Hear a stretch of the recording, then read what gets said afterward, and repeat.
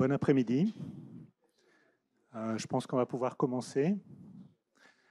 Alors, euh, bienvenue à cette euh, session consacrée à, la crise humanitaire en Europe et aux droits de l'enfant.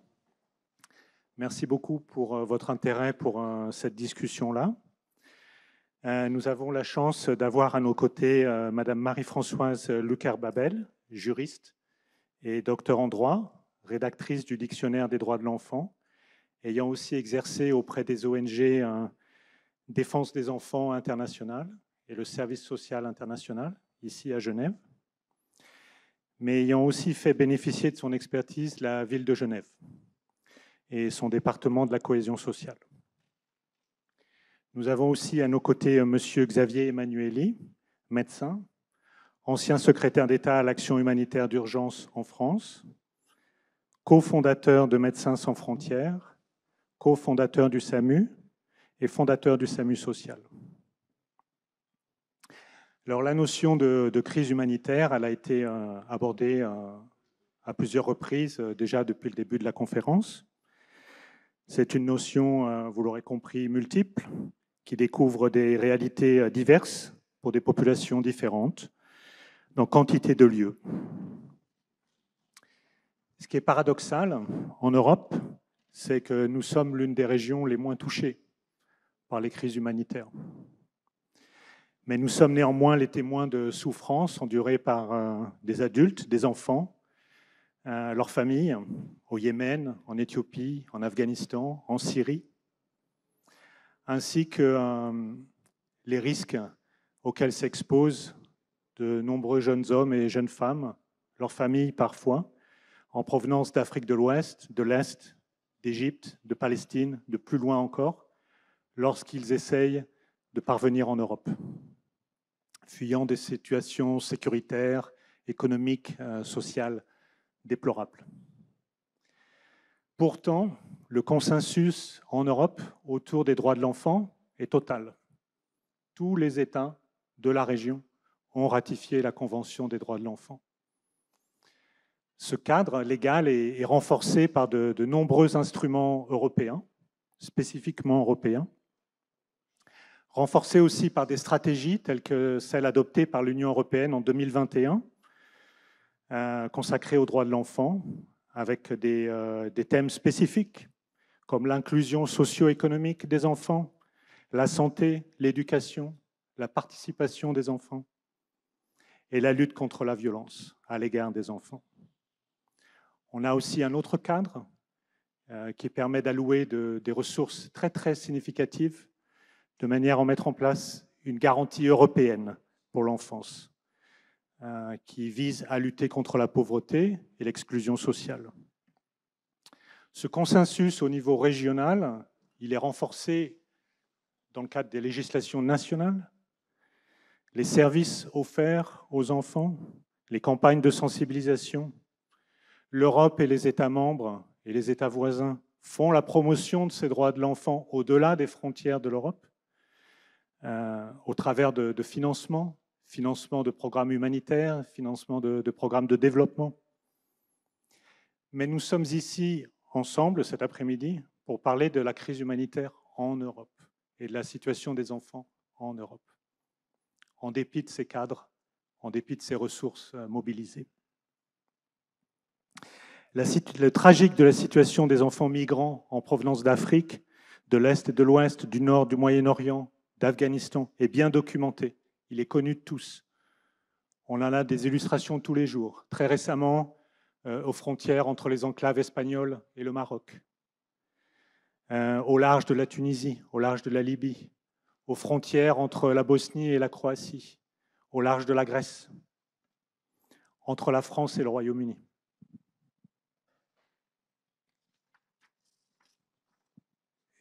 Le nombre des enfants impactés ne cesse d'augmenter. En 2020, c'était 130 000 enfants non accompagnés séparés enregistrés en Europe. En 2021, 167 000. C'est un chiffre. C'est l'équivalent de la ville de Lausanne. C'est ce qu'on a aujourd'hui en Europe en termes d'enfants non accompagnés séparés. C'est la même chose en France. En 2016, la France s'occupait de 8000 enfants euh, non accompagnés séparés. En 2019, c'était le double, 16 000. Un récent rapport de l'Agence des droits fondamentaux de l'Union européenne dénonce de multiples violations du droit de ces enfants. Ça inclut les morts enregistrées euh, au large de la Tunisie, de la Libye, le traitement par les passeurs et les trafiquants, les conditions avant le départ, euh, toutes les formes d'exploitation auxquelles sont soumis ces enfants, les refoulements de ces enfants à nos frontières, que ce soit en Grèce, que ce soit en Croatie, que ce soit au Royaume-Uni, les conditions d'accueil dans les centres de rétention, les difficultés inouïes rencontrées pour régulariser leur situation, pour qu'ils puissent déposer de manière légale une demande d'asile auprès des services concernés, qu'ils puissent exposer les raisons individuelles qui les ont amenés à prendre ces risques-là. Il y a aussi de, nombreuses questions euh, autour de l'accès à l'éducation, autour de l'accès à la santé, autour de l'accès à l'aide sociale, sans parler de la xénophobie euh, auquel ils sont exposés et qui malheureusement euh, est venue parasiter de nombreux débats nationaux dans la région. Depuis février, nous sommes aussi témoins en Europe d'une autre crise humanitaire liée à la guerre en Ukraine. Depuis février, 277 enfants ont été tués en Ukraine. 456 autres ont été blessés, principalement en raison de l'utilisation d'explosifs dans les zones urbaines, au mépris du droit humanitaire. On déplore aussi 256 attaques de structures de santé. Et dans l'est de l'Ukraine, c'est une école sur six qui est touchée par les bombardements. 1,4 million de personnes n'a pas accès à l'eau courante en Ukraine. Dans les pays voisins, c'est 5 millions de réfugiés. Environ 40% d'entre eux sont des enfants. Étonnamment, mais c'est un développement positif, ces migrants-là ont bénéficié euh, d'un accueil comme aucun autre groupe n'a bénéficié jusque-là. Euh, aujourd'hui, c'est quasiment les deux tiers des réfugiés ukrainiens qui bénéficient déjà euh, d'une protection temporaire qui leur permet de ne pas être foulés, qui leur permet d'avoir accès à la santé, à l'éducation, au marché du travail, à l'aide sociale. Ce qui montre que c'est possible. Euh, ce qui nous fait aussi penser qu'on aimerait voir la même solidarité à l'égard des autres groupes de migrants, d'enfants qui arrivent sur le sol européen. Mais j'aimerais maintenant me tourner vers euh, Madame Luker Babel, qui est donc, euh, vous l'aurez vu, qui a été associée à la rédaction de la Convention des droits de l'enfant il y a quelques années, euh, qui a aussi contribué à la mise en œuvre de cette convention en Suisse, dans le cadre de différentes fonctions, mais qui a aussi rédigé le dictionnaire pour le droit de l'enfant, dans une démarche euh, permettant d'expliquer aux enfants de manière appropriée, de manière adéquate, euh, leurs droits, de manière à ce qu'ils puissent se les approprier. Donc j'aimerais maintenant vous donner la parole, s'il vous plaît, de manière à ce que vous nous expliquiez un petit peu votre euh, démarche et le, fondement de cette initiative, s'il vous plaît. Merci. Et merci, de, votre invitation. C'est vrai que le, premier point sur lequel avec lequel je voulais commencer, mais sans, sans bloquer la discussion là-dessus, c'était revenir euh, au, travail euh, de fond qui a donné lieu à la publication du dictionnaire des droits de l'enfant, entre parenthèses, pour les enfants et pour les grands. C'est que mon objectif a été donc de rendre, euh, et est encore, parce que le travail continue, de rendre les droits de l'enfant accessibles aux enfants donc dans un, langage avec un choix de termes qui correspondent à, pour l'essentiel à une tranche d'âge dès l'âge de 11 ans. On peut s'imaginer qu'avec l'adolescence, l'intérêt euh, fadisse un peu. Euh, l'autre élément qui, était un peu le sujet de, dissension au départ du projet, je trouve qu'il est important de le mentionner, c'est que c'est un dictionnaire qui parle de tous les mots des droits de l'enfant. Donc, entendons-nous bien un mot M-O-T-S dans, dans l'idée qu'il n'appartient pas aux adultes de sélectionner euh, quels termes et quelles thématiques sont intéressantes, sont importantes. Les enfants, à mes yeux, ont le droit de s'intéresser à tout, d'être curieux de tout. Ils ont, il y a des termes qu'ils ne connaissent pas et il était important que, qu'ils aient accès à ces définitions-là exactement. On voit d'autres dictionnaires, évidemment beaucoup moins volumineux, euh, destinés aux enfants qui ont passé par cette présélection qui est le plus probablement euh, une sélection faite par les adultes. C'était une approche à, laquelle je souhaitais échapper. Et enfin, ce qui nous ramène, euh, va me rapprocher du thème d'aujourd'hui, c'est que ma volonté était de rendre un, travail aussi sérieux et documenté que possible, donc d'être en, somme une passeuse de connaissances entre d'un côté les traités et les textes internationaux et de l'autre euh, le, public des enfants. Et quand on recense euh, l'ensemble de ces textes, qu'ils viennent de, l'Organisation des Nations Unies ou des organisations régionales, qui sont principalement l'Europe et l'Afrique, un peu moins les, Amériques, on, je ne veux pas dire on tombe, mais on, remonte l'histoire essentiellement jusqu'à 1924, c'est-à-dire l'année durant laquelle euh, Eglantine Jebb, qui est mentionné ici, a présenté son projet de déclaration de Genève à la Société des Nations, qui était en fait une déclaration, ce que je trouve important, c'est venant de la société civile et expliquant le, sentiment le, ressenti et la volonté d'agir de la société civile. Je, citerai juste les, premières lignes. Par la présente déclaration des droits de l'enfant, dite déclaration de Genève, les hommes et les femmes de toutes les nations reconnaissent que l'humanité doit donner à l'enfant ce qu'elle a de meilleur, affirmant leur devoir en dehors de toute considération de race, de nationalité et de croyance. Et là, au mois de septembre 1924, l'Assemblée générale de la Société des Nations a endossé cette euh, déclaration. Donc, elle n'en a pas fait une déclaration de la Société des Nations, mais elle en a fait un document incorporé dans les décisions et les résolutions de, son Assemblée générale.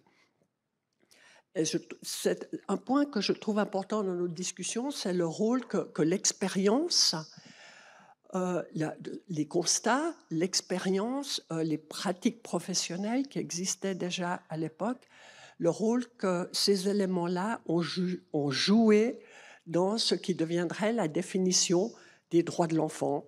Euh, le processus, je ne veux pas dire qu'il s'est emballé, mais s'est accéléré Ensuite, avec la, Charte des Nations Unies, la Déclaration universelle des droits de l'homme et euh, une Déclaration des droits de l'enfant de 1959. Et enfin, en 1989, la Convention relative aux droits de l'enfant. C'était ce que je voulais signaler d'emblée, cette, parenté et cette évolution parallèle. Merci. Merci pour ça. Euh, pour pour euh, cette approche visant à, ancrer euh, l'action humanitaire, mais aussi le, débat sur un cadre légal, avec des implications pour les enfants, pour leurs familles, mais aussi pour les autorités nationales et, et régionales. je voudrais maintenant que nous nous tournions vers M. Xavier Emmanueli, qui lui a une démarche différente vous êtes à l'origine de MSF, euh, du SAMU, du SAMU social. Euh, cette approche euh, innovante, multisectorielle de la grande précarité, créée en 1993. Vous avez aussi publié de, de nombreux ouvrages sur les migrants, sur les enfants des rues. Et j'aurais voulu que vous nous disiez un petit peu quels ont été les, parcours, les expériences individuelles que vous avez observées euh, dans ce cadre, chez ces enfants, euh, qu'ils soient avec leur famille ou qu'ils soient seuls? Je vous remercie. Avant de répondre, je voulais vous remercier, Madame la directrice, d'avoir organisé ces deux jours, ce week-end de réflexion. On n'est pas très loin euh, du CICR, de, des grandes, de l'OMS, mais euh, c'est là que se fait la grande politique internationale et les droits. Et ici, il y a une petite musique euh, un petit peu parallèle, un petit peu en dehors euh, des dogmes, un petit peu de liberté qui ne peuvent pas se dire dans les grandes instances. Et je trouve que c'est une idée géniale, surtout dans un tel cadre. Nous avons fait venir et on fait des rencontres de gens qui, sont un tout petit peu plus libres et qui ont une parole parce qu'elle vient du terrain. Donc merci, heureuse initiative. Ça, c'est la première chose. La deuxième chose, vous avez tous les deux expliqué le cadre euh, autour des enfants. Ce que je peux dire, vous dites oui, le, nombre augmente, et c'est vrai, de plus en plus. Pourquoi? Je fais, c'est pas une prophétie, chacun peut le constater. Il y aura d'autres et d'autres et d'autres encore migrations. Pourquoi? On assiste à ce que certains, et moi aussi je le prends à mon compte, appellent la tectonique des peuples. C'est des peuples entiers qui se rencontrent avec des cultures et des avancées différentes. Et leur point de rencontre, ben, c'est le clash.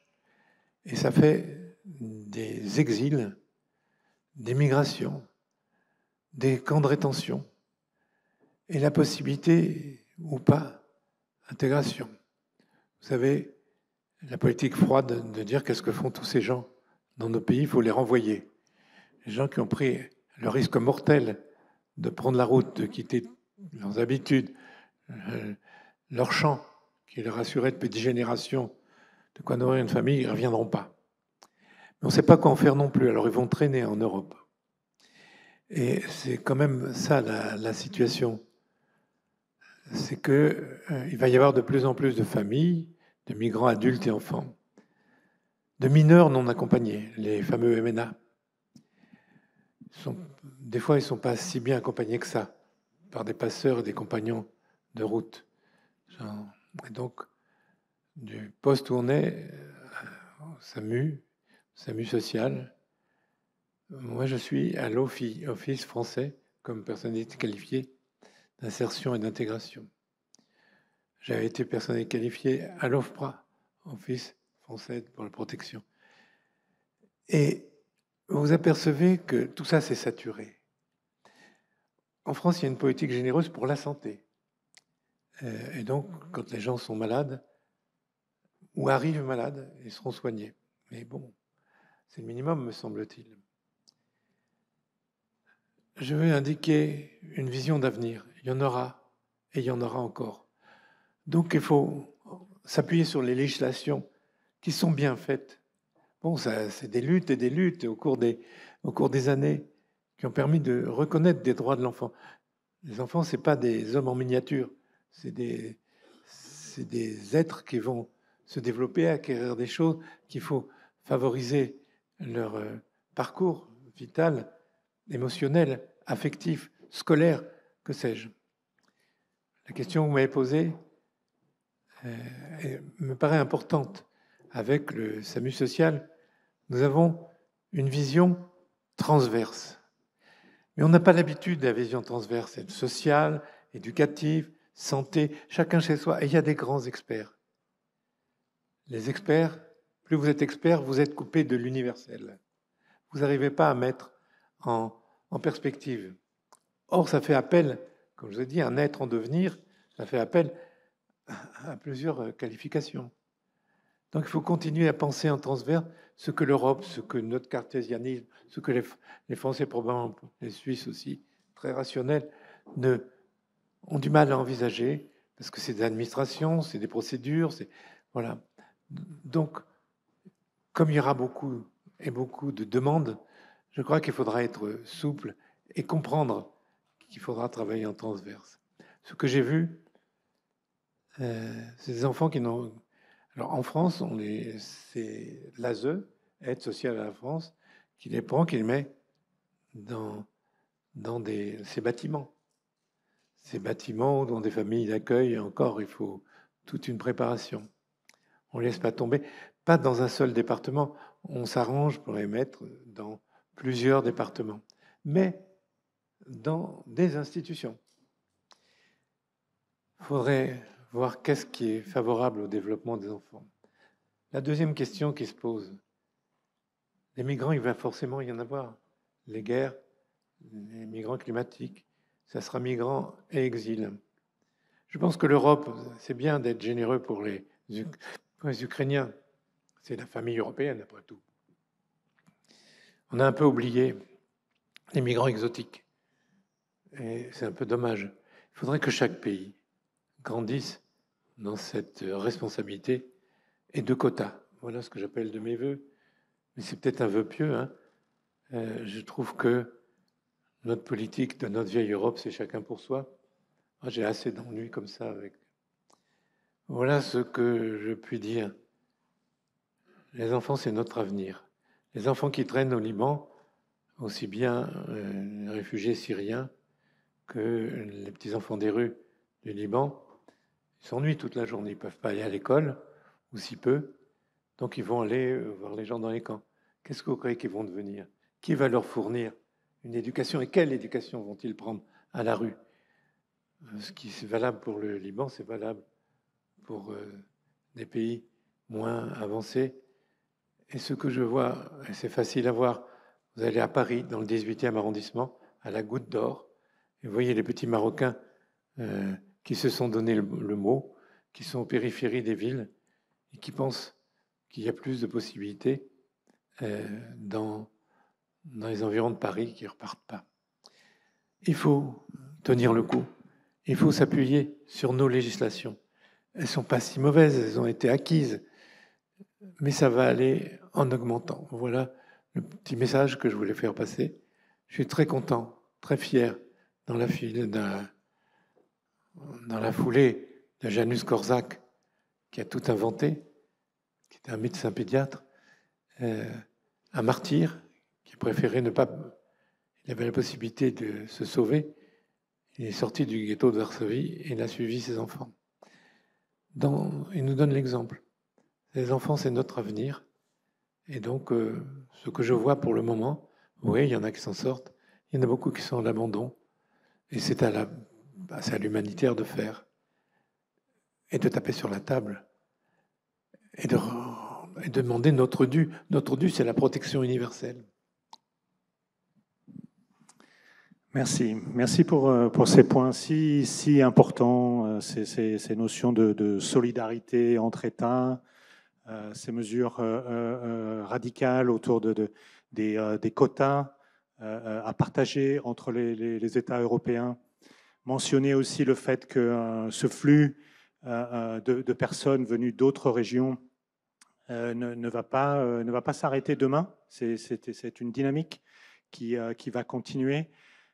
oui, plusieurs États, oui, la région, je parle de la région, l'Europe, euh, est en mesure de, répondre euh, à, beaucoup de, ces questions-là, comme on l'a vu euh, avec la crise ukrainienne depuis le début de l'année. merci aussi d'insister sur, l'importance des, législations, du droit, à faire évoluer, parce que le droit, il y a 50 ans, a évolué et il, doit continuer à évoluer à l'aune des nouvelles situations, des, nouvelles complexités auxquelles on est confronté. Euh, Madame euh, Lucker-Babel, est-ce que de votre côté, euh, vous pourriez nous faire part de, vos réflexions quant au progrès justement accompli au cours de, ces dernières années, de ces dernières, peut-être deux dernières décennies en particulier, en termes de réalisation des droits de l'enfant ici en Suisse, en ayant à l'esprit justement ces groupes les plus vulnérables, les enfants migrants, les enfants demandeurs d'asile, accompagnés ou pas.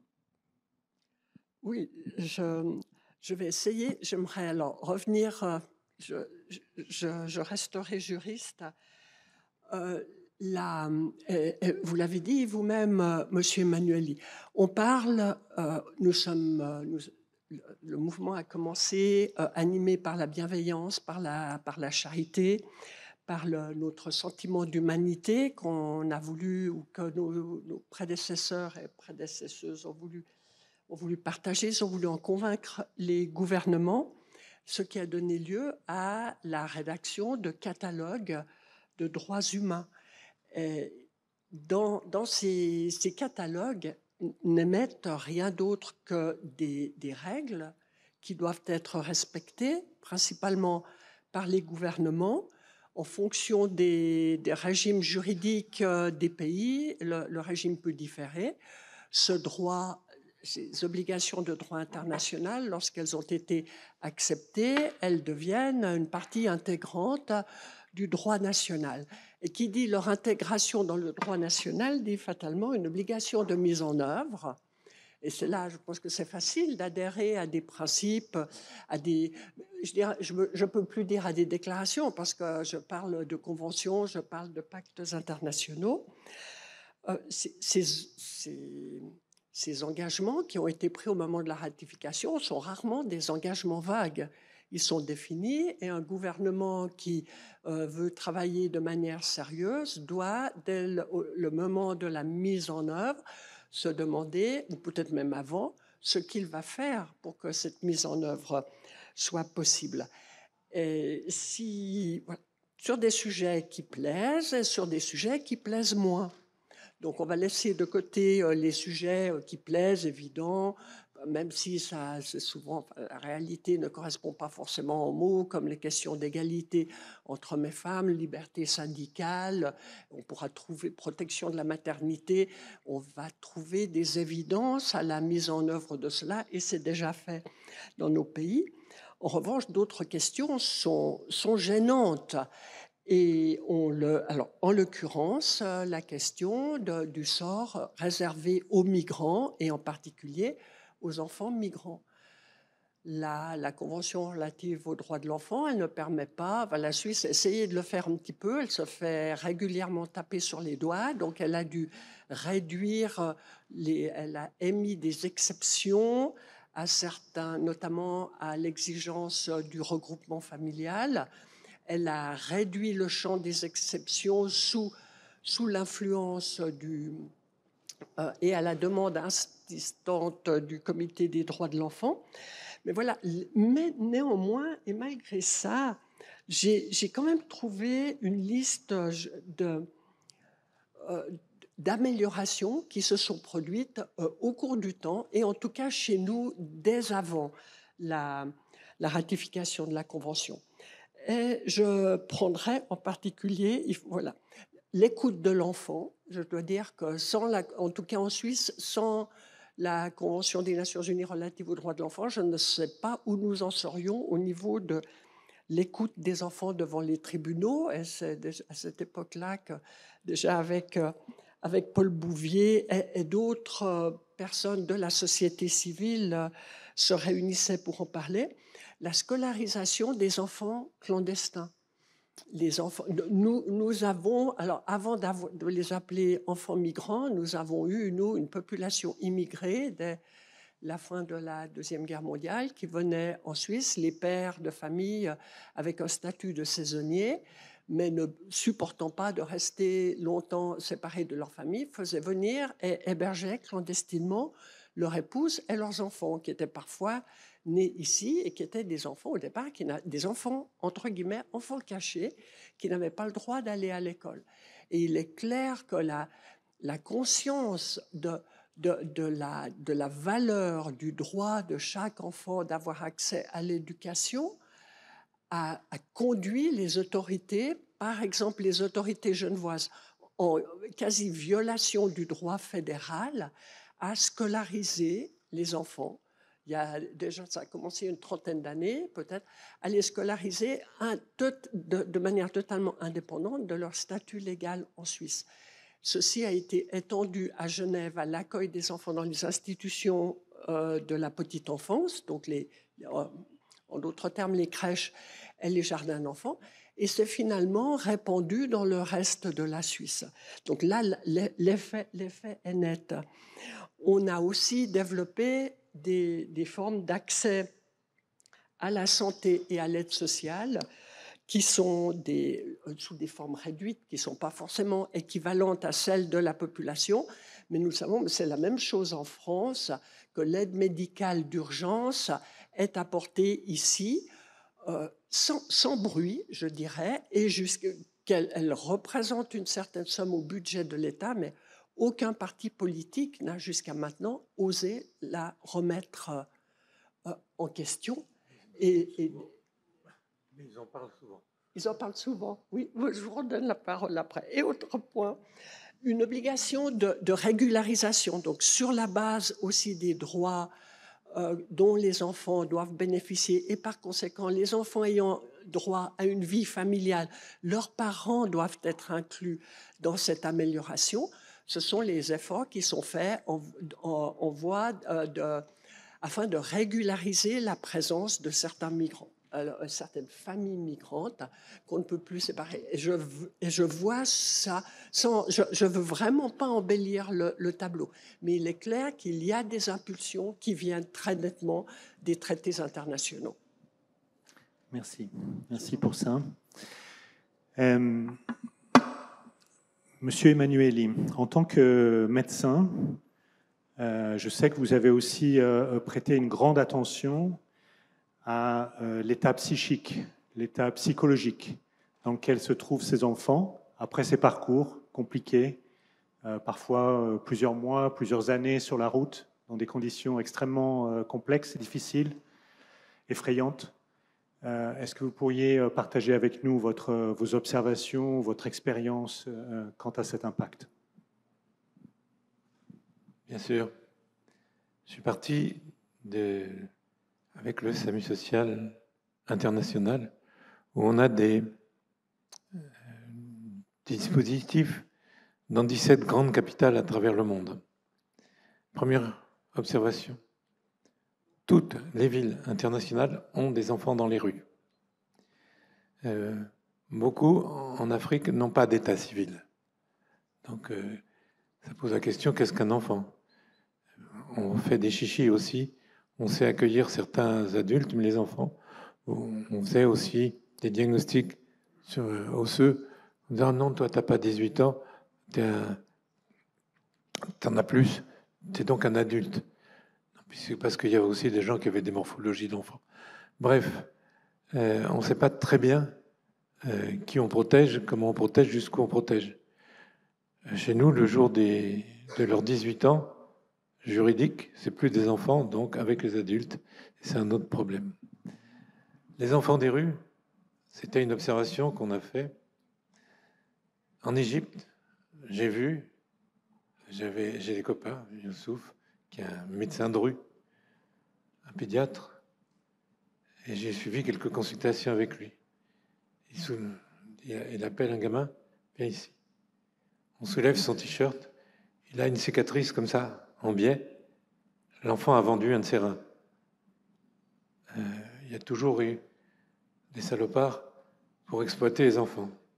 Exploitation sexuelle, exploitation des adultes pour des mauvais coups, et là récemment, vente d'organes. Donc les enfants, c'est un sujet d'exploitation, il faut surveiller de près ceux qui ne sont pas accompagnés ou mal accompagnés. L'état psychique, les enfants se retrouvent par petits groupes. Un enfant seul ne peut pas exister. Il cherche un lien. Et un lien, c'est pour ça qu'ils sont en petite bande. Euh, et petite bande archaïque, vous savez. Petite bande, c'est comme une meute de loups. Il y a un leader, des lieutenants, puis il y a le mauvais objet. Donc, ils sont bien quand il y a un lien. Quand il n'y a pas de lien, quand ils sont perdus, ils sont perdus. Un enfant a besoin d'être rassuré. En tout cas, il a besoin d'affectivité j'ose dire, de l'amour pour pousser. S'il n'y a pas ça, ça sera des adultes ratés. Donc il faut vraiment les entourer et les rassurer.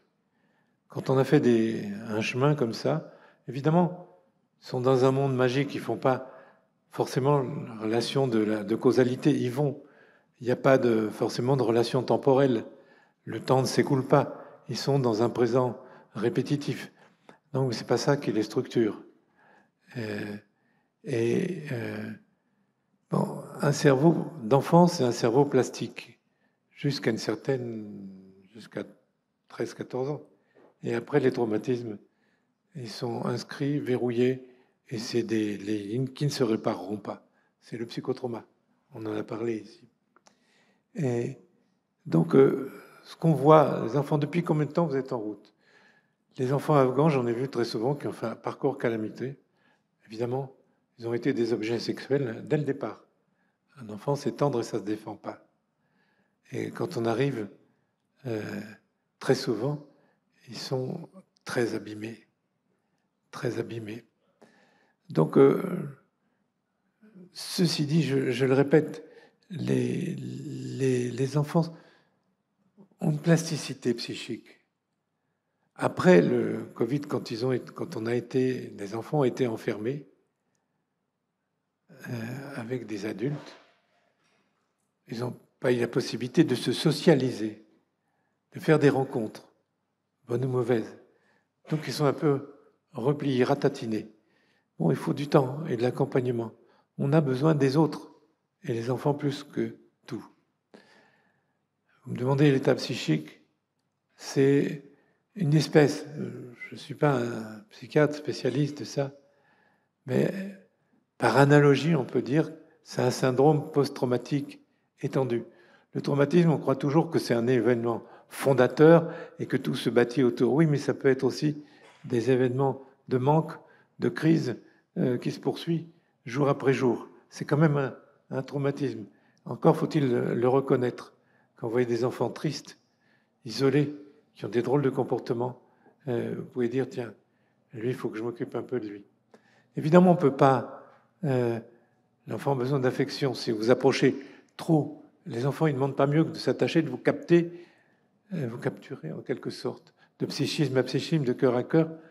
Et c'est difficile. Ce ne sont pas nos enfants, c'est les enfants qu'il faut aider. Socialisation, apprentissage, intérêt. Pouvoir dire c'est bien ou tu as mal fait, ça va mal se passer. De pouvoir évaluer, euh, de lui demander des règles. Euh, au Burkina, j'avais suivi des, des mômes de la rue qui étaient une vie dure dans la rue. Alors on les trouve dans un, on les amène dans un centre. Puis vous les voyez qui fuient le centre. Ah, ils m'ont obligé de manger avec des couverts. Ou ils m'ont forcé à faire mon lit. Les gens, les enfants dans la rue, au bout d'un moment, ils n'ont plus, plus de règles. C'est ce que j'ai appelé l'atroce liberté. Ils sont liberté. On joue à cache-cache avec les commerçants, avec les gendarmes, avec, euh, on est libre. Quelle liberté Ils souffrent de ce qu'on appelle la suradaptation paradoxale plus sont à la rue, plus sont en liberté, comme ça, plus sont adaptés. Les plus malins, c'est les plus adaptés, puis qui entraînent les autres.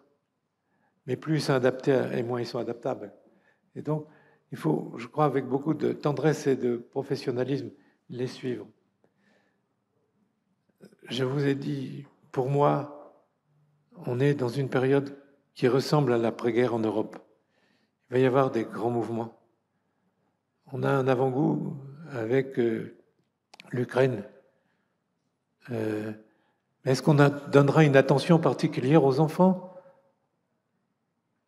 Euh, et les enfants venus d'ailleurs Je crois que ce qui nous manque, quand dans les années 20, il y avait tous ces gens qui fuyaient le nazisme, qui fuyaient le bolchevisme, ils étaient aux portes de l'Europe, et il y a un journaliste, un aventurier, qui s'appelait Nansen, qui a fait un passeport qui était à l'origine, le passeport Nansen, qui leur donnait une identité qui est à l'origine de l'UNHCR, du Haut Commissariat.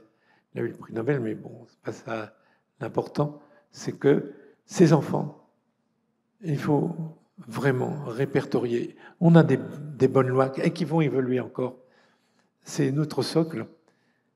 Mais attention, les enfants, même s'ils sont en famille, quand ils ont fait ces grands trajets, ils ont peu ou prou un syndrome d'abandon et de stress post-traumatique. Merci. Pour, euh, pour conclure notre, session, j'aimerais vous poser la même question euh, à tous les deux. Euh, Madame Louker-Babel, vous avez fait cette démarche en allant vers les enfants, vers leurs familles, de manière à ce qu'ils s'approprient leurs droits et qu'ils le comprennent. Est-ce que vous pensez que vous et, les autres défenseurs des droits de l'enfant sont, suffisamment entendus par les autorités? Et est d'après vous, quelles sont d'après vous les, démarches et les, initiatives que l'on peut entreprendre pour que justement ces droits soient non seulement compris par les enfants et par leurs familles, mais aussi compris et intégrés euh, par les autorités en mesure de les réaliser?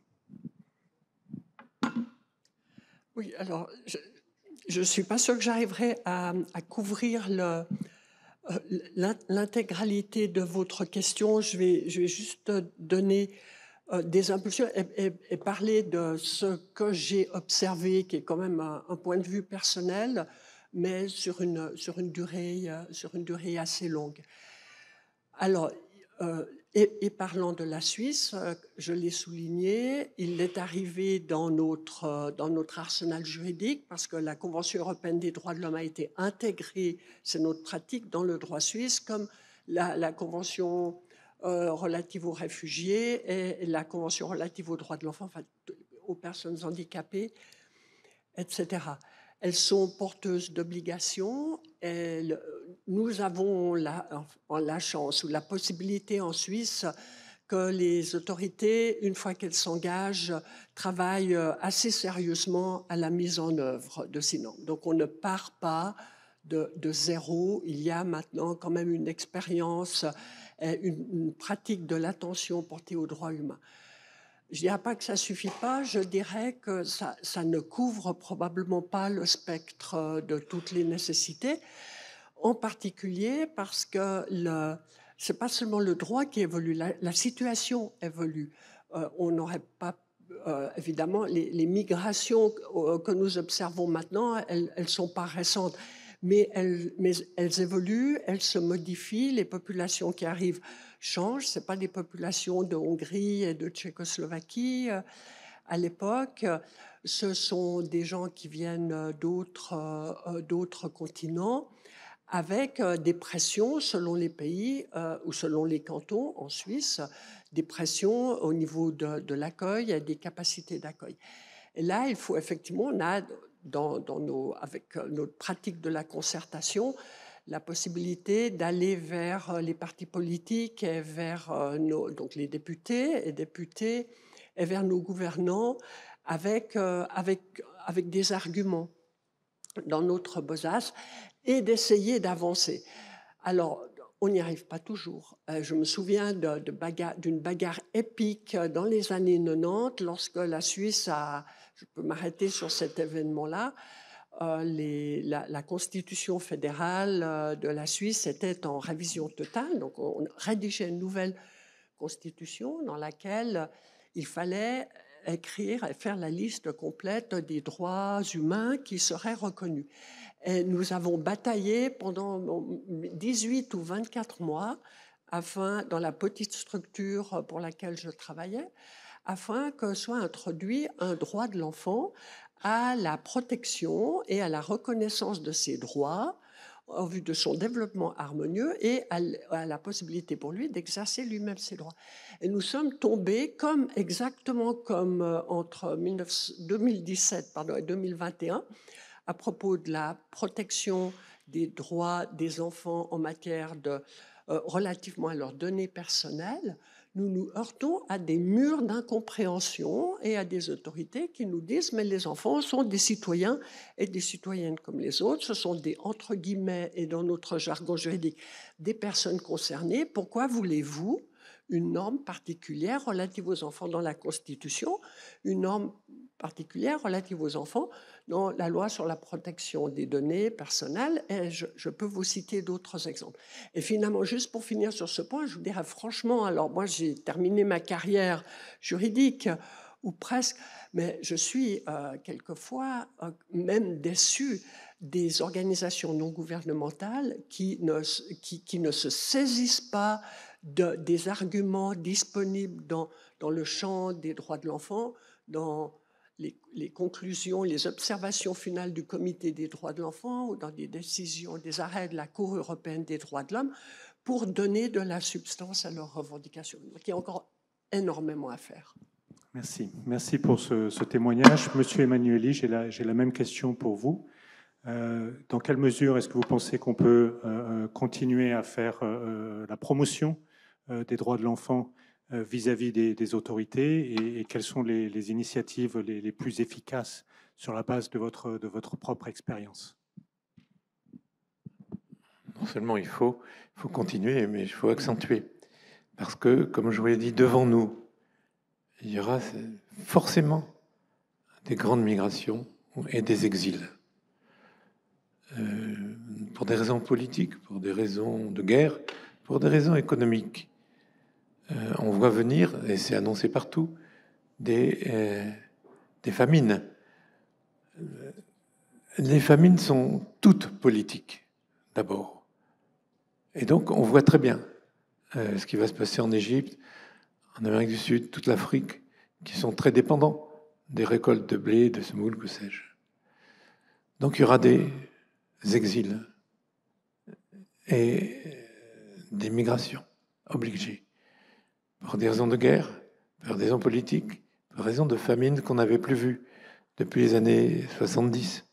Ça revient, ça revient, mais euh, avec euh, une atroce modernité.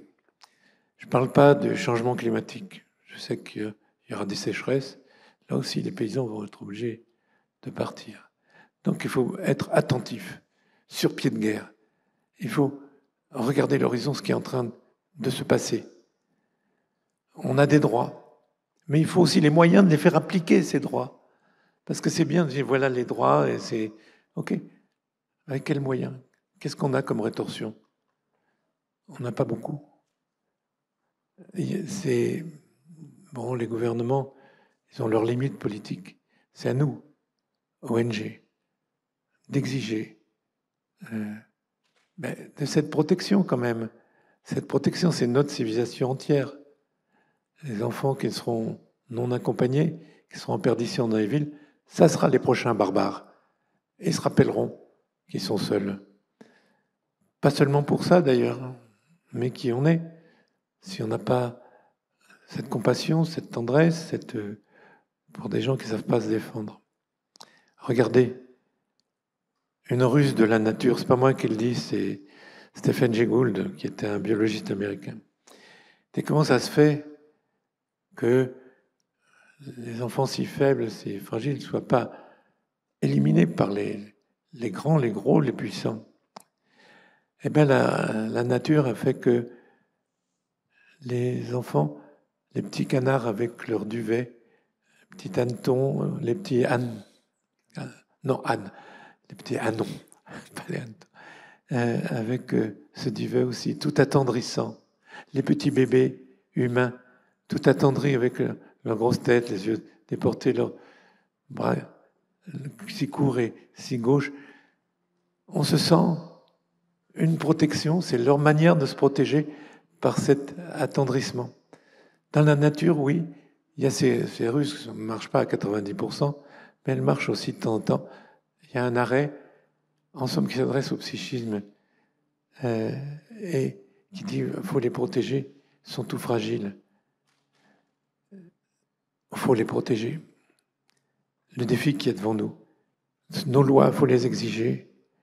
Ce pas les gouvernements qui sont pragmatiques quand vous pensez qu'il y a des pays d'Europe qui empêchent l'entrée, qui préfèrent que les gens soient coincés de l'autre côté, c'est à nous, les, ONG plus libres, de le faire et de faire exiger au moins l'application de, des règles. Voilà, j'espère que j'ai répondu. Merci beaucoup. Merci beaucoup à tous les deux pour euh, ce partage et ces, euh, ces observations. Merci aussi à la Fondation Brochet.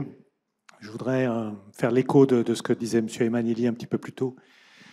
Cette initiative humanitaire, littérature, qui, qui, met quelque part une, une, face humaine sur ce qui trop souvent n'est que statistique, rapport, un petit peu sec. est, vraiment la bienvenue. Donc merci beaucoup et, merci à la Fondation pour, pour ce projet.